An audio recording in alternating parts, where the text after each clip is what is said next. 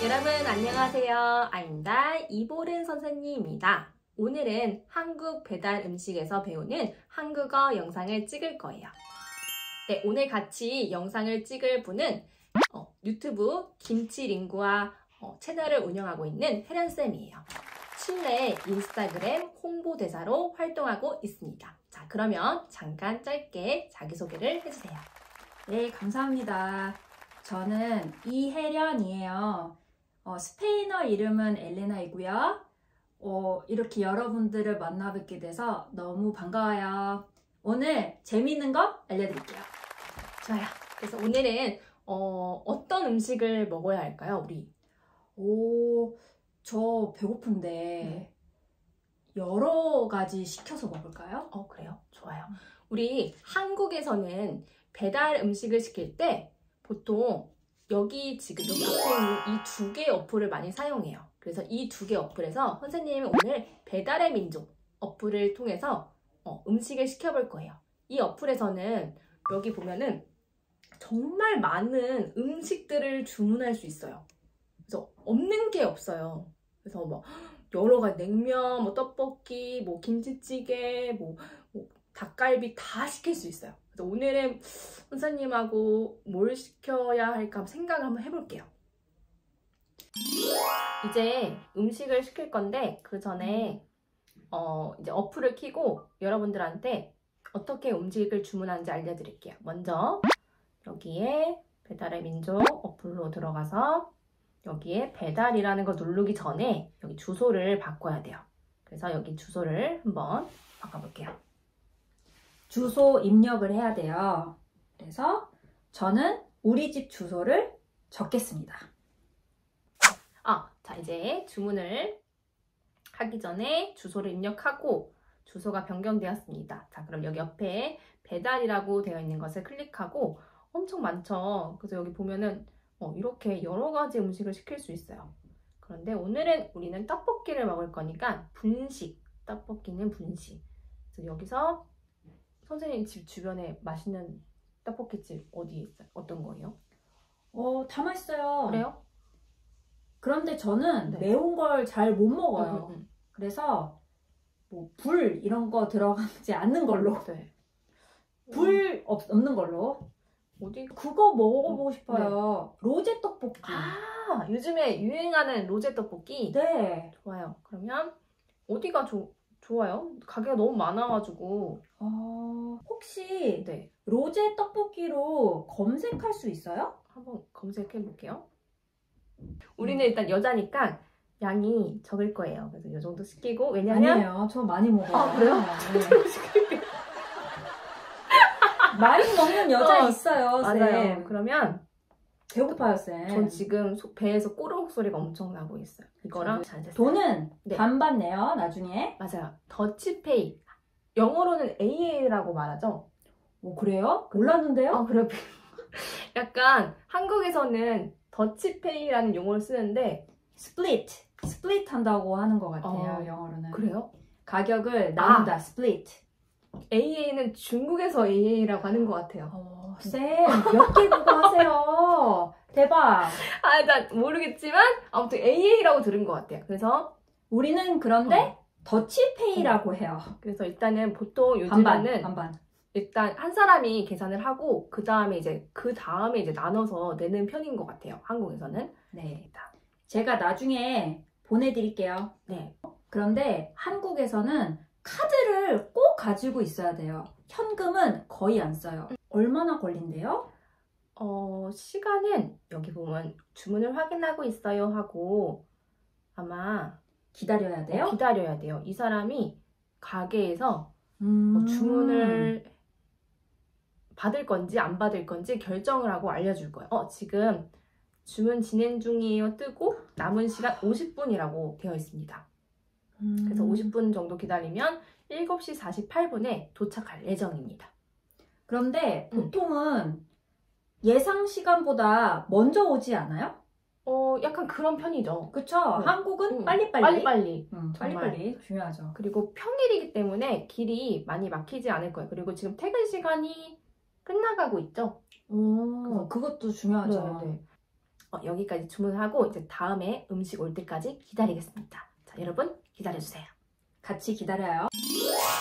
자, 이제 음식이 왔습니다. 자, 우리 떡볶이 왔는데, 어, 아까 이거 음료수. 원래 한국 사람들은 매운 음식 먹을 때 이 주식구를 꼭 먹습니다. 네, 이거 왔고, 그 다음에, 어, 이 오뎅. 오뎅 왔고, 그 다음에 콘치즈하고 어, 떡볶이 맛있겠다. 다 왔습니다. 네, 이렇게 포장돼서 와요.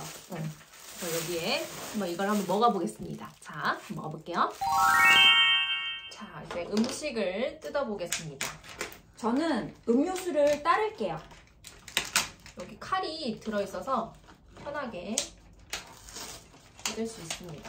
아, 배가 고프네요, 많이. 저도요. 아까 봉지 어디 있죠? 바닥에 있을걸요? 봉지가.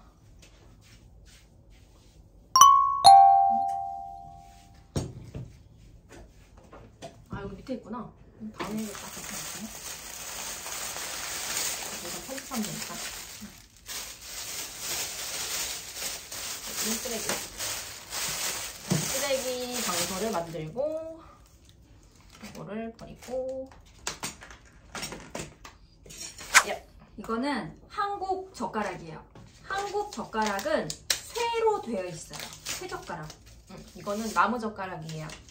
일회용 젓가락. 한 번 쓰고 버리면 돼요. 자, 한번 이제 먹어보겠습니다. 자, 우리 짠 할까요? 네. 짠! 짠! 네. 음, 맛있어요. 네, 딱이에요. 코로나니까 덜어서 먹는 아, 걸로. 맞아요. 자, 들어서.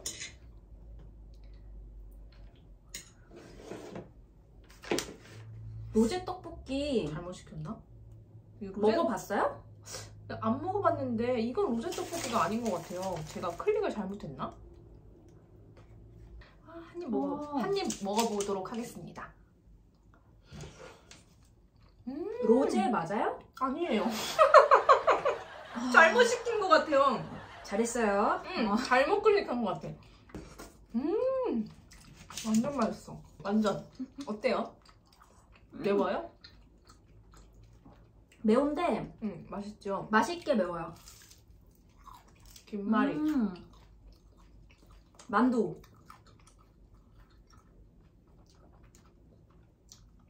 역시 매우니까 주식쿨이랑 매운 음식이랑 잘 어울리는 것 같아요. 음, 음. 맛있어.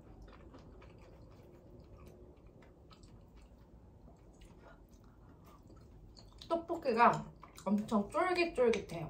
음. 음. 떡볶이는 밀떡하고 쌀떡이 있는데 밀떡, 밀떡은 밀가루로 만든 거고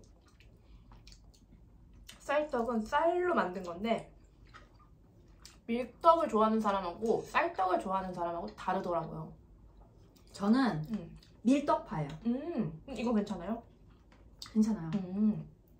한국 학교 앞에서 파는 떡볶이들은 그냥 매운 거에다가 떡 들어있고 음. 그걸 여기 사진 보면은 이게 종이컵에 팔거든요. 맞아. 초등학교는 꼭 왜냐면 초등학생은 많이 안 먹으니까 이렇게 안 팔고 음. 종이컵에 팔아요. 음. 음. 저도 한번 떡볶이 맛을 알게 되니까 엄청 매운 떡볶이 아니면 이거 다잘 먹는 것 같아요. 근데 제가 진짜 맵찔이라서 저도 맵찔이에요. 음. 콧물이 네. 이게 맵찔이에요. 매운 매울 때 코가 찔찔된다. 음. 라는 뜻으로. 음. 근데 매운 거 못 먹어도 떡볶이 먹을 수 있어요. 근데 그때 순한 맛으로 골라야 돼요. 순한 맛. 맞아요. 요즘에 외국 친구들이 그 한국 먹방 보면 막 불닭 볶음면도 있고 이러니까 한국 음식 진짜 매운 것만 있는 줄 아는데 사실 한국 사람들도 그렇게 많이 매운 거 먹는 줄 아는 사람들은 별로 없는 것 같아요. 음, 다 드셨나요? 전 다 먹었어요. 어, 진짜? 네. 입이 굉장히 짧군요. 네, 좀 아까 분명히 많이 먹는 어, 거 그런데 배불러요. 되게- 제가 기다려 드릴게요. 네, 저, 어, 저는 마- 많이 먹는 편이라서 제 유튜브 보시는 분들은 알겠지만 약간 음식을 좀 많이 시켜서 많이 먹는 편이라 쌤은 음식을 음. 즐기는 스타일 아니에요? 네 많이 먹기보다는 즐기는 스타일. 이런 스타일인 것 같아요. 한 음식을 많이 먹지 않고 여러 가지 음식을 먹다 보니까 많이 먹게 되는 스타일. 자, 그러면 여러분들 일단은 저희는 일단 먹방을 끝까지 하고 이제 마무리 지었을 때 다시 카메라를 켜고 다시 여러분들에게 인사를 하겠습니다. 좀만 기다려주세요. 곧 만나요. 매운 거 못 먹는 둘은 결국 계속 물만 먹다가 영상을 끝까지 못 찍었어요. 그럼 오늘은 여기서 인사할게요. 다음 시간에 만나요. 선생님이 다음에 찍어줬으면 하는 영상이 있으면 댓글창에 남겨주세요. 안녕!